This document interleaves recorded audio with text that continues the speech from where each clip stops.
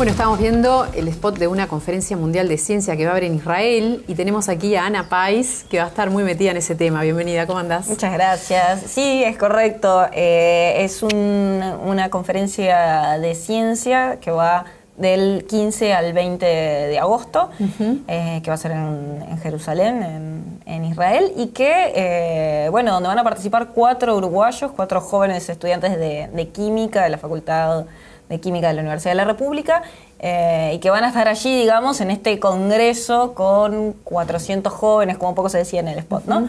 400 jóvenes de más de 70 países y lo que en realidad más eh, atrae a todo el mundo, 15 eh, científicos que ganaron el premio Nobel. Impresionante. Impresionante, es muy bueno porque además, digamos, la conferencia está pensada para los estudiantes.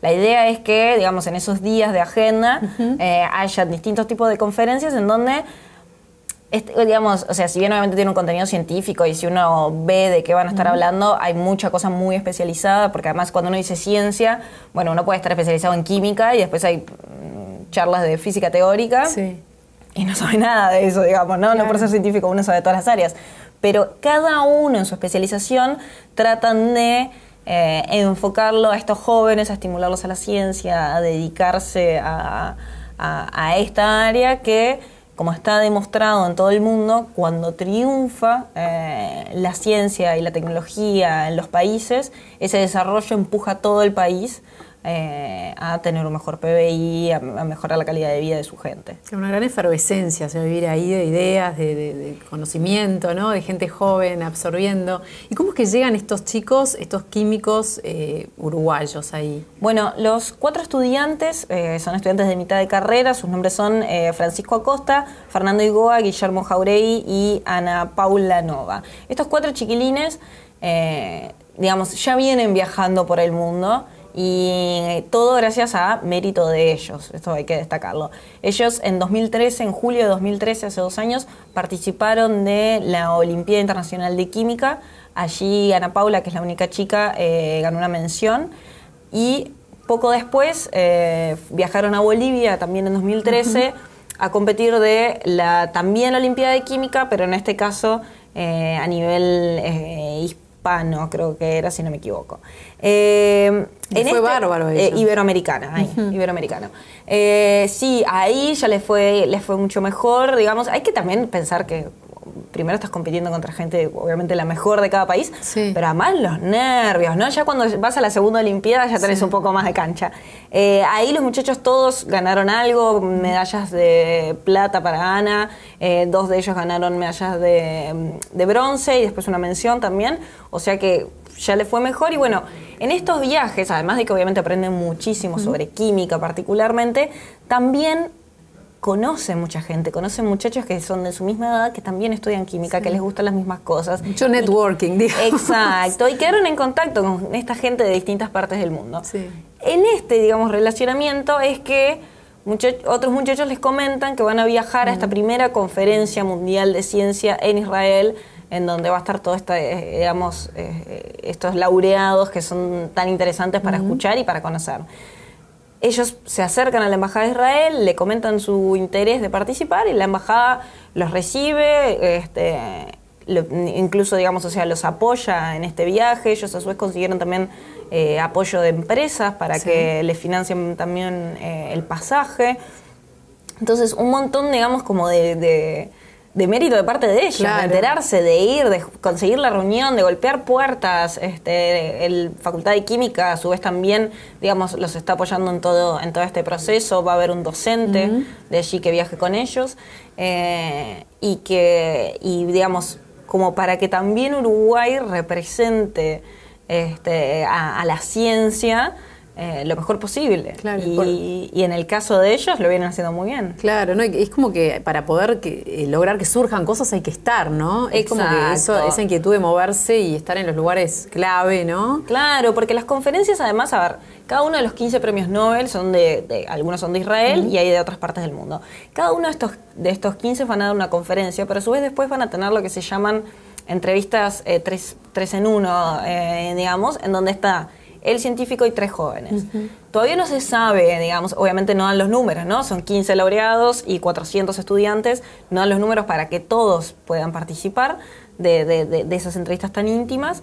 Entonces, pero ellos todavía no saben si les toca a alguno de ellos cuatro reunirse con un Nobel. De cualquier modo, ya escucharlos y verlos, va a haber un, incluso, por ejemplo, un almuerzo en donde ellos van a estar, los Nobel, eh, y uno se puede acercar y conversar, y siempre en los pasillos te los cruzás y les puedes preguntar algo, este, hablar sobre, eh, no sé, algún descubrimiento, alguna inquietud, alguna opinión sobre, sobre qué piensan del estado de situación de la, de, de la ciencia, o yo que sé, no sé, hablar de los temores, por ejemplo, que tienen, que tienen siempre los científicos. Uno de repente puede estar 10 años trabajando en un área en, un tema Es como el trabajo de un artista, ¿no? Que es como apostar a algo y bueno. Sin saber si va a terminar resultando, si no, mm. si alguien lo descubre antes que vos, eh, si llegas a un lugar y no hay nada, si nadie te financia. Hay como un montón de miedos que uno siempre se entera de los logros y no de todo lo que pasa entre medio, de todas las inseguridades. Todos los fracasos, Los fracasos, mm. claro, que forman parte de la ciencia, del ensayo horror, o sea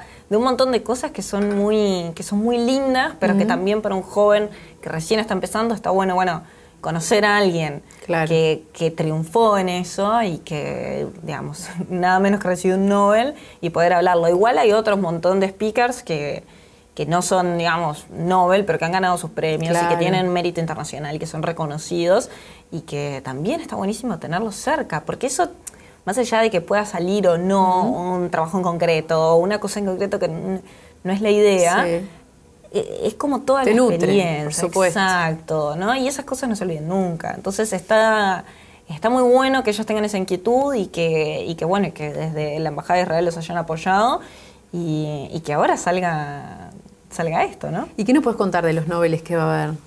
Bueno, es muy variado, digamos. O sea, hay un Nobel de Economía Después, la gran mayoría son premios Nobel de Química y hay alguno de este, Física y Medicina.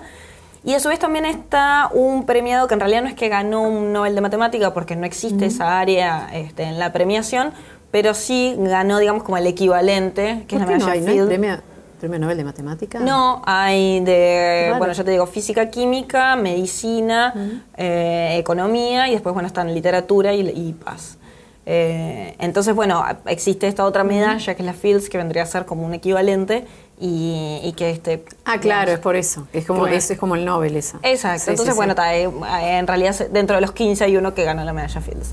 Pero dentro de, los temas que van a estar tratando, hay temas, digamos, como muy... Eh, más como de ciencia básica y sobre la importancia de la ciencia básica para después que venga la ciencia que aplica conocimientos y desarrollos y que, bueno, eso genera, no sé, cosas más concretas, digamos, ¿no? Más aplicadas. Eh, exacto. Eh, Roger Cromberg va a estar hablando, por ejemplo, que es uno de los Nobel de Estados Unidos, va a estar hablando, por ejemplo, de eso, de la ciencia básica. Eh, después está Aaron Siechanover, que ganó en 2004, el, es, es, de Israel, ganó en 2004 el Nobel de Química y en 2005 viajó a Uruguay eh, en ese momento se lo nombró este, honoris causa, se lo nombró visitante ilustre de la ciudad de Montevideo, o sea que él eh, ha tenido un poco más de contacto con, Uruguay. Ese es un buen inicio de conversación, digamos, para los muchachos, si quieren decirle Capaz que pueden lograr una entrevista. Este, claro. Eh, porque aparte justo también es Nobel de Química, entonces es mm. interesante. Él, por ejemplo, va a estar hablando sobre la revolución de la medicina personalizada. Mira. cómo, digamos, es todo un tema de la medicina en este momento hacer, digamos, medicamentos específicamente mm. para un ADN de una persona, o sea, algo que es solamente para vos. Claro. Que esto es algo que se viene trabajando sobre todo en oncología.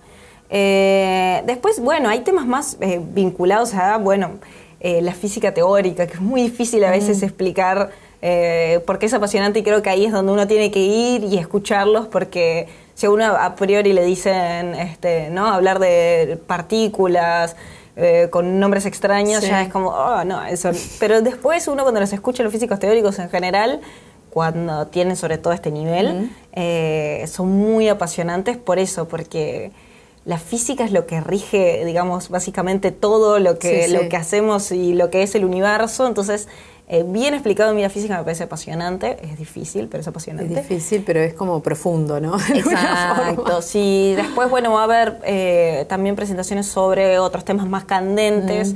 eh, por ejemplo, los organismos genéticamente modificados, que es un tema que, eh, digamos, la presentación ahora, eh, quien la hace es Richard Roberts, que es de Gran Bretaña, que fue Nobel de Medicina en el 93, y su presentación se llama algo así como el principal crimen contra la humanidad.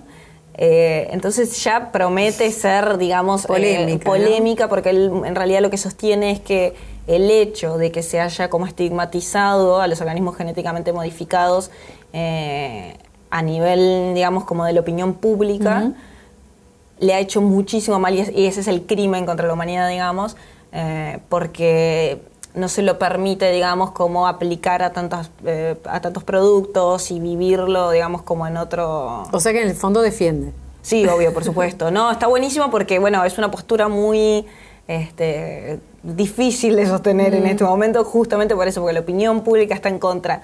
A pesar de que la ciencia una y otra vez dice no está comprobado que los alimentos eh, genéticamente modificados afecten a los organismos. bueno, lo mismo decía el cigarro, ¿no? Durante años no estaba comprobado que Bueno, sí, es efecto. Eh, eso es correcto. O sea, puede llegar a pasar que dentro de, no sé, X cantidad de generaciones se empiecen a ver problemas. Mm. Hoy la ciencia dice esto no genera problemas. Mm. Eh, y ya te digo, hay un premio Nobel diciéndolo en, este, en esta conferencia. Pero bueno, siempre, como todo, es uno de esos temas en donde, en donde siempre crispan los nervios, digamos. Oh, pero qué bueno, y aparte en ese escenario, ¿no? Porque Israel es un lugar fascinante, o sea que va a ser una experiencia impresionante. Sí, va a ser una experiencia increíble y bueno, eh, con el observador yo voy a estar viajando a, esta conferencia, así que lo vamos a estar cubriendo, probablemente hagamos alguna llamada. ¿Podrás hacer este entrevistas a premios Nobel? Es muy difícil. Bueno, eso lo estamos tramitando. La idea es que sí, mm, que la idea es que sí, por lo menos tener alguna instancia en donde se pueda hablar con alguno de ellos. Eh, todos son apasionantes, todo lo que, obviamente lo que han logrado para estar ahí, eh, y no, digo, o sea, la verdad es que en esto yo, leyendo las biografías de cada uno, no, no puedo decir cuál me parece más interesante porque todos tienen perfiles súper interesantes. Pero, pero bueno, vamos a esperar. Ojalá que sí, que la organización lo, lo permita. Pero bueno, desde Cromo, desde el Observador TV, vamos a estar cubriendo este, cubriendo este evento. Buenísimo, vamos a estar atentos entonces. Sí, por supuesto. A ver qué nos mandas.